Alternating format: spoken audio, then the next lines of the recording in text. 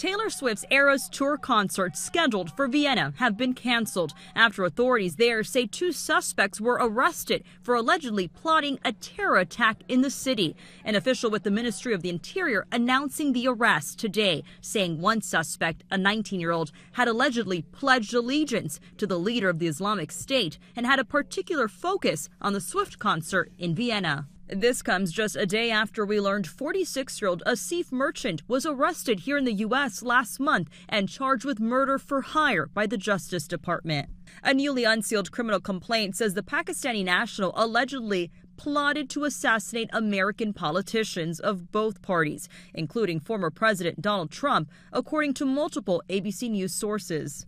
Charging an individual with ties to Iran, who we allege sought to hire hitmen to assassinate a politician or a U.S. government official on U.S. soil.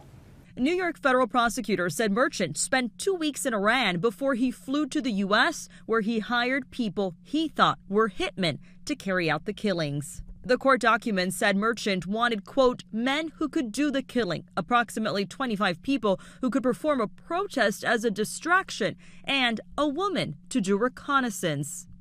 The defendant met with several individuals in New York who he thought were hitmen, but who were in fact undercover law enforcement officers. ABC News law enforcement sources say no target had been decided by the time Merchant was caught. He was arrested one day prior to Trump's July 13th rally in Pennsylvania, where Trump was shot in the ear.